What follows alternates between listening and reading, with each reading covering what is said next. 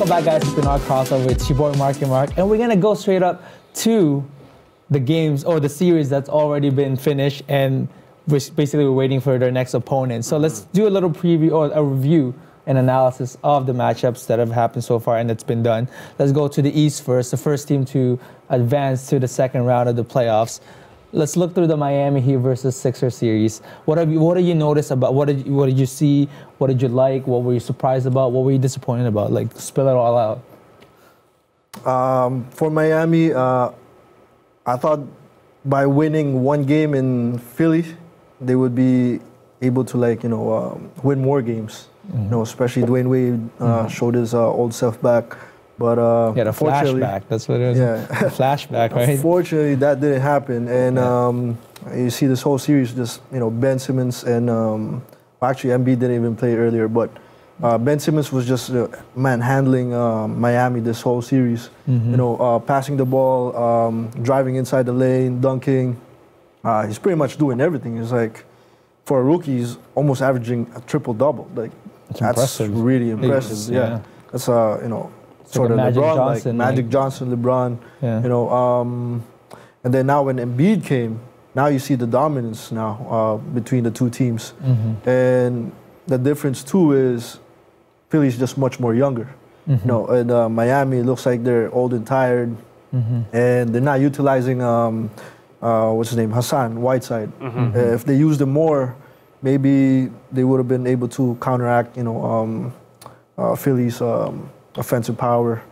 I mean, they got three-point shooters. You got Ben Simmons passing the rock to like everybody. Mm-hmm. So it's pretty much it.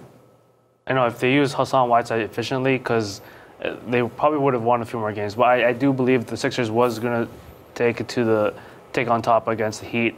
Um, it's just sad that like Hassan Whiteside has been uh, not not struggling himself, but just like a little bit back and forth between his him himself and his coaches and the organization themselves. Mm-hmm. He's only played what six minutes that I think that whole game in game six, game, game five. Yeah. Um, it's it's very unfortunate that they haven't used him as much as he wants to and which he can do as an offensive player. Kelly Olynyk, our own Canadian, was playing very well in that series. He played um, the majority of the, the center minutes mm-hmm. for them. He was really amazing. He's just counter, counter. Like they had to match up. I understand what they, what Erik Spoelstra wanted to do, uh, fellow Filipino uh, coach in the NBA. Yeah. I understand what he wanted to do is try to play small ball, counteract with what um, what the Sixers were doing. But the Sixers, as what Fran said, younger, more faster, and even though they ha- don't have that much experience, and this is the only first playoff series in a long time, especially with this this group of young players they look really good and they're really hungry for that top spot. And they just, I guess, they really, really bounced off from that um, end of the regular season when they won like what 16, 16 games in straight. And, and they continued it. And they continued it. And they, they also feed off the home crowd. The home mm-hmm. crowd is really like the if you go to if you watch Philly games, I, I believe like there's it's really really hard to beat Philly in Philadelphia with the the team itself uh, will help the players that they have, and also the crowd. The crowd they feed off the crowd's energy.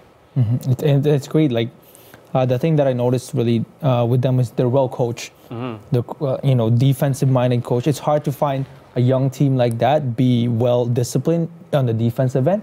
And Brett Brown has really done a great job for them, and they listen to him.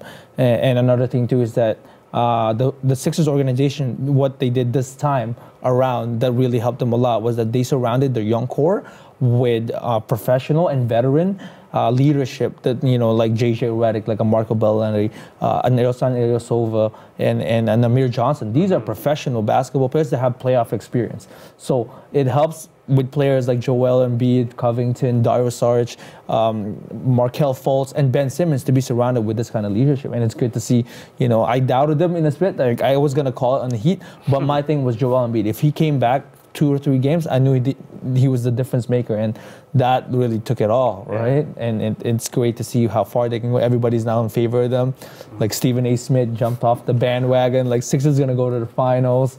Right? It, it's crazy how you know the process now works, and people don't know. But Brett Brown's record when they were when he was playing when he was coaching them, maybe the, the you know the first five years was he was 75 and 250. That's a really horrible record. Really but this year he was 53 and 20. Yeah that's a big jump. They almost had the same amount of wins as they had the past three or four years. That's how sad the combined, process has been. Yeah. But let's go to the to, uh, to one of the teams in the West. Then let's go to uh, the Warriors and well, no, let's go to the Houston and the Wolves because this one seemed like everybody knew that it was going to be a Houston win. What did you notice about the the whole series? Well, the Chicago Timberwolves, as we like, some of us like to call them, uh, it's very disappointing that they. I mean, it, no one's going to win against Houston. I, I didn't believe Minnesota was going to win against Houston, but the fight wasn't really there. Uh, I didn't believe what Tom Thibodeau was going to be a good coaching, um, a good coach in Minnesota because he, like, rumors are allegedly he overplays his players. He gives us a lot of his starters a lot of minutes, a lot of logging minutes, and he's tired them out very, very, very, very quickly. Um, it's, I, I think on paper, beginning of the season, this this team looks so good on paper. NBA 2K, you play them, they're probably good as well. But when you see them on court, it doesn't it doesn't look like they're clicking. The chemistry's not that much there. Um, it just you have to choose between Jimmy Butler or Andrew Wiggins as your top shooting guard, small forward. Um, Karl-Anthony Towns wasn't playing that well. He's for some reason he just wants to be a three point shooter. Why just go go in the paint, man? Like like what Shaq said or Charles Barkley said. They both of them said.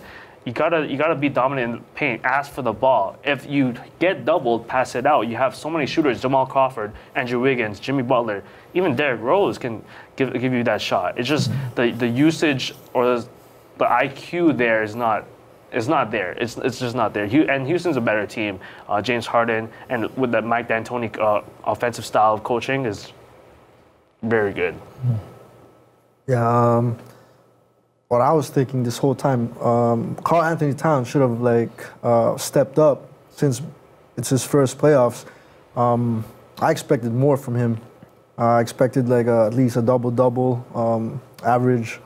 And Andrew Wiggins, he's saying he's unhappy uh, with his role, but um, if he's unhappy, you got to show you know some um, hunger. And Derrick Rose, surprisingly, wow, He showed up for them. he's like. Dude, him and Jimmy Butler I mean, showed it's, up it's for hard them. to yeah. count him out because, um, he's a Chicago Wolves. yeah, I mean, he wants to show everybody that they still got it. Um, Jimmy Butler, uh, too bad he got injured near the end of the season, so uh, maybe he wasn't nearby his, you know, full form. And um, who else? Uh, like Jared said, like just- they have so many shooters. Uh, it looks good on paper, and you would think that they would put up more of a fight than uh, they did this uh, this series. Was it? It was a what four one? Yep. Yeah, this I thought it would at least go to six games, seven games, but no, too bad. Yeah, I guess in, at the end, I, I feel like it's it's a learning experience for them. If you guys think about it, these are a young team, right? This is the first playoff game for Wiggins and Towns, and I think there's only uh, from here on then it's only gonna go you know up, and they're only gonna get better because they're gonna have gonna have more time to spend together. Mm-hmm. This is their first season technically with this you know expectation of making the playoffs, and now they've had a taste of it. I feel like this is a, a good experience for Towns as well to go through that, to be, you know, to be the main focus defensively of a team. They like the Houston prepared for him. They didn't prepare for any. Like they, they said that they're gonna take the ball out of Towns. They're gonna mm-hmm. Not let this guy shoot the whole series and let Jimmy and the rest of the other team basically beat them.